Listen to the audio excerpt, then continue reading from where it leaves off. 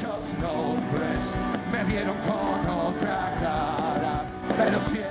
Loquillo regresa a estas fiestas del Pilar a Zaragoza, actuará en el aparcamiento norte de la Expo y es solo uno de los 160 artistas programados. Este año además, y a pesar del cambio de normativa, los menores continuarán separados en ese recinto. Pero siempre fui yo, La ley ya permite que desde los 16 años asistan a los conciertos en el mismo espacio que los adultos. Aún así, en estas fiestas del Pilar, en el aparcamiento norte de la Expo, habrá espacios diferenciados.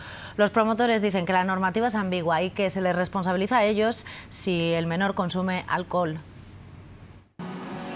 Este año los menores volverán a ver los conciertos así, separados por una valla y en un espacio diferente donde no se venda alcohol.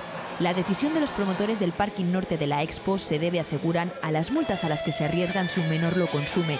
Ellos pueden controlar la venta pidiendo el carnet, dicen, pero no que otro mayor de edad se lo suministre. La nueva ley responsabiliza al promotor del consumo de alcohol en su recinto. Yo puedo responsabilizarme de que en las barras no se le venda a ningún menor. De hecho, se sigue pidiendo carnet. Lo que no puedo responsabilizarme es de que ese menor consuma dentro, porque se lo puede facilitar cualquiera. Y a un mes del comienzo de las fiestas ya se van conociendo artistas. La música electrónica será una de las grandes apuestas del recinto con los belgas Dimitri Vegas y Like Mike o la fiesta Elrow.